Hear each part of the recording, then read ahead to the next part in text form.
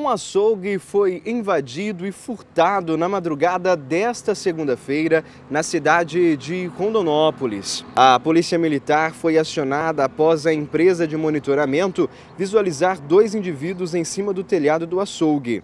Os mesmos pularam os telhados das casas próximas e fugiram tomando rumo ignorado.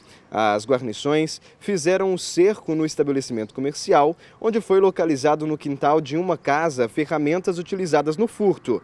Dentro do estabelecimento, a polícia militar encontrou uma parede quebrada, o cofre arrombado e o local revirado. A polícia civil foi acionada e o caso foi registrado, porém não foi divulgado o que teria sido levado do local pelos suspeitos.